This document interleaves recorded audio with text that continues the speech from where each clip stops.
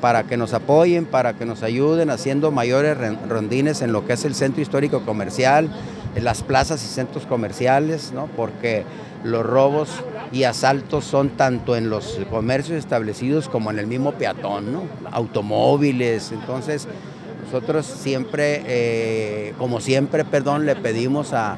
a las personas que acuden a esas plazas, centros comerciales, que tengan mucho cuidado, eh, que no dejen en sus vehículos eh, cosas de valor que se puedan ver desde el exterior,